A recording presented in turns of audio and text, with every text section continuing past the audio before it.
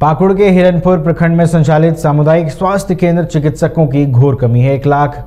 आबादी पर बना सामुदायिक स्वास्थ्य केंद्र सिर्फ़ एक डॉक्टर के भरोसे चल रहा है। जिसके चलते मरीजों को सही तरीके से स्वास्थ्य सेवाएँ नहीं मिल पा रही हैं। सामुदायिक स्वास्थ्य केंद्र में चिकित्सकों के सात पद हैं, लेकिन वर्तमान में प्रभारी चिकित्सा पदाधिकारी डॉक्टर सुनील कुमार सिंह ही कार्यरत हैं।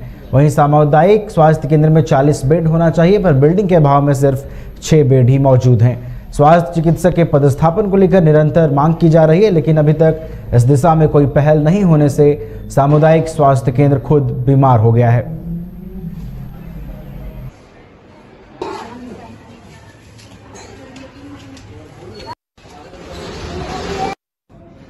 तो ये डॉक्टर का तो कमी है, एक पिछले अगस्त से ही हम अकेले ही। यहाँ इसके पहले तीन डॉक्टर थे, जिसको दो डॉक्टर जो ट्रांसफ़र हो गया यहाँ से। डॉक्टर मिहिर कुमार थे और एक डेंटल डॉक्टर थे, उसके बदले में हमारे यहाँ कुछ एक भी डॉक्टर मिला नहीं। फिर इस साल एक जुलाई में भी ट्रांसफ़र हुआ था लिस्ट निकला था।